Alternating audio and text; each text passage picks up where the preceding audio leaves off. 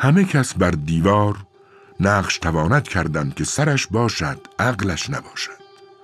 چشمش باشد بیناییش نباشد. دستش باشد عطایش نباشد.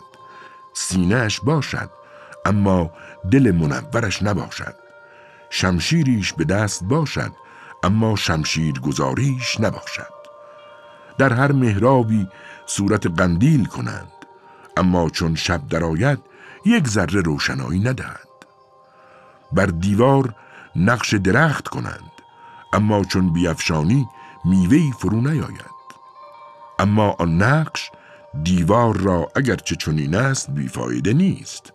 از بهر آن که اگر کسی در زندانی زاییده شد جمعیت خلقان ندید و روی خوبان ندید در آن زندان بر در و دیوارهای زندان اگر نقش ها بیند و صورتهای خوبان بیند و شاهان و عروسان بیند و صورت تجمل پادشاهان و تخت و تاج بیند و صورت بزم و مجلس صورت مغنیان و رقاسان بیند از آنجا که الفت جنسیت است باز پرسد و فهم کند که بیرون این زندان عالمی است و شهرهاست و چنین صورتهای زیباست و چنین درختان میوه دارند که اینجا نقش کردند.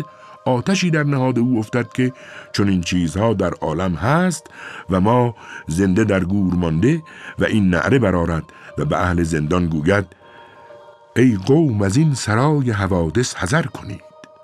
خیزید سوی عالم علوی سفر کنید. جان کمال یافته در قالب شما وانگه شما حدیث تن مختصر کنید. ایسی نشسته پیش شما وانگه از صفه دلتان دهد که بندگی سم خر کنید. ای روح های پاک در این توده های خاک تا کی چو حس اهل سقر مستقر کنید.